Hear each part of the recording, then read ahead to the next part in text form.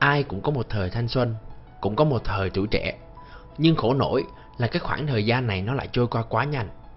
Đây là cái khoảng thời gian rất quý giá, đơn giản vì bạn có thể tự do bay nhảy, không chịu bất kỳ sự ràng buộc nào cả, chưa phải đau đầu với chuyện cơm áo gạo tiền và cũng không có quá nhiều sự bận tâm về con cái, gia đình và các mối quan hệ xã hội. Tương lai sự nghiệp của bạn ra sao dựa vào những gì bạn tích lũy và xây dựng trong khoảng thời gian này. Và sau đây là 5 điều sẽ giúp cho bạn có một sự nghiệp thành công trước độ tuổi 30. Nếu như bạn là người mới đến với kênh thì hãy đăng ký, bấm chuông để nhận được những video nóng hổi ngay khi nó mới ra lò nhé. Nào, vô thôi. Cái điều đầu tiên, sự nghiệp là phải hàng đầu. Chúng ta vẫn thường nghe cái câu tiền không phải là tất cả, nhưng không có tiền thì vất vả. Thế thôi. Nghe có vẻ hơi khiếm nhã một chút, nhưng sự thật là như thế. Vì vậy, trước khi 30 tuổi, hãy tập trung vào sự nghiệp của bạn. 20 đến 30 tuổi là cái giai đoạn chúng ta nên tập trung phát triển sự nghiệp. Vì sau 30 tuổi, bạn sẽ có rất nhiều mối bận tâm về gia đình, con cái và các mối quan hệ khác. Đầu bạn suốt ngày cứ quay cuồng với chuyện mua sữa gì cho con uống, hóa đơn tiền điện, tiền nước, tiền nhà, đủ thứ tiền trên đời, phải lo rất nhiều thứ và rơi vào vòng xoáy của cuộc sống. Lúc đó, bạn không còn thời gian để làm những thứ mà mình muốn nữa. Những cái sở thích hay bất kỳ cái điều gì mà mình muốn làm, muốn thử thì sẽ là ưu tiên cuối cùng.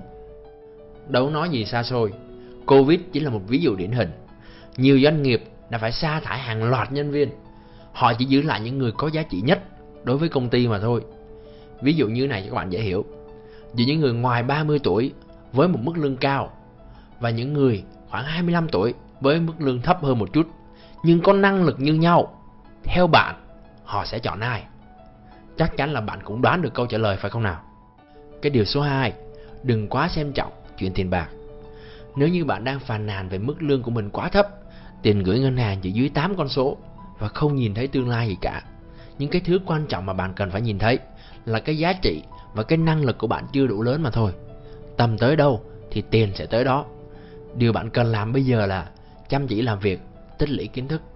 Xã hội chính là cái trường đại học lớn nhất mà bạn cần phải vượt qua. Những gì bạn học ở trường đời, trường học mãi mãi không bao giờ chỉ dạy cho bạn. Hãy ngưng than vãn, đừng nhìn vào học lực quá thấp của mình.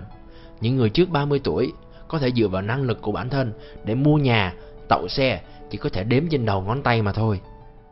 Từ cái điều số 2, nó dẫn đến cái điều số 3, đó là hãy làm việc chăm chỉ. Thay vì than vãn với công việc hiện tại quá nhàm chán, bạn nên cố gắng chăm chỉ và tập trung làm việc hết sức. Những người thành công đều bắt đầu từ những điều nhỏ nhất. Có thể bạn học chưa hết được những kiến thức đó, nhưng chí ít bạn phải học được cái thái độ và cái phương pháp làm việc. Điều này rất quan trọng cho tương lai của bạn. Bạn thấy không? Tại sao bác vượng của Vingroup đã dư giả về tài chính và có khả năng sống đến mấy trăm năm? Mà bạn phải làm việc chăm chỉ mỗi ngày. Vì thế, không có chuyện là không làm mà cũng có ăn. Trên đời này á, không làm mà đòi có ăn là chỉ có ăn cám thôi nha các bạn. Cái điều thứ tư, giao lưu với những người bạn tốt. Cổ xưa có câu rồi, ngu tầm ngu, mã tầm mã. Bạn bè có ảnh hưởng rất lớn đến cuộc sống của bạn. Không cần phải kết bạn quá nhiều, ít cũng được. Nhưng chỉ cần trong khoảnh khắc khó khăn nhất của cuộc đời bạn, họ sẵn sàng giang tay giúp đỡ. Ngạn ngữ có câu, hãy chỉ cho tôi biết năm người bạn thân nhất, tôi sẽ cho bạn biết về tương lai của mình. Việt Nam mình cũng có câu tương tự luôn. Đi với bụt mặc áo cờ sa, đi với ma mặc áo giấy. Đây cũng chính là bí quyết của những người thành công. Vì nếu chọn được những người bạn tốt thì bạn cũng sẽ có xu hướng giống họ. Khi chơi với những người giỏi hơn mình thì bạn sẽ học được nhiều thứ và có động lực để cùng nhau phát triển hơn. Nếu như gặp được người này, hãy giữ thật chặt, bởi vì sau này nhất định sẽ có lúc cần đến họ, cho dù hiện tại họ đang giàu có hay là nghèo khổ.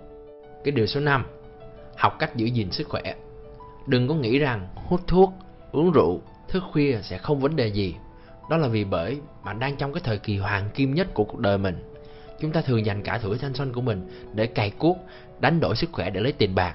Rồi đến cuối đời dành dùm hết số tiền đó để mua chiếc giường đắt nhất thế giới, đó chính là giường bệnh. Chỉ khi bạn ngoài 30 tuổi, bạn mới nhận ra rằng sức khỏe là quan trọng nhất. Không có sức khỏe là không thể làm được bất kỳ việc gì. Vì vậy, hãy giữ cái thói quen và nếp sống thật là lành mạnh ngay từ bây giờ. Đó chính là năm điều bạn nên làm để có một sự nghiệp thành công. Tuy nhiên, trong cái video lần này, chúng tôi sẽ tặng bạn thêm một điều nữa để thăng hoa hơn trong sự nghiệp. Cái điều thứ sáu, hãy hiểu cho cha mẹ mình. Đừng có trách cha mẹ nói nhiều hay nhớ nhớ quên quên. Đợi đến khi các bạn làm cha làm mẹ, bạn mới có thể hiểu được rằng trong mắt của họ, bạn chỉ vẫn là một đứa trẻ, nhưng họ thì lại già rồi. Đừng chờ đợi nữa, hãy làm cho cha mẹ vui vẻ bằng việc gọi một cuộc điện thoại hỏi thăm, tặng một món quà nho nhỏ, hay đơn giản, chỉ cần khiến họ yên tâm về bạn là đủ rồi. Điều đó không hề khó phải không? Cho dù bạn ở độ tuổi nào đi chăng nữa, hãy sắp xếp thời gian cho bố mẹ nhiều nhất có thể. Chứ đừng đợi đến khi bạn hiểu ra được những thấm thía trong cuộc sống, thì nhiều khi họ đã không còn nữa. Lúc đó, bạn sẽ không còn cơ hội để làm bất kỳ điều gì nữa. Video đến đây là kết thúc. Bạn hãy chia sẻ những cảm nhận, những điều bạn học được từ video nhé. Những chia sẻ của các bạn chính là nguồn cảm hứng để đội ngũ chúng tôi tiếp tục sản xuất ra những video hay hơn. Hẹn gặp lại bạn trong những video tiếp theo.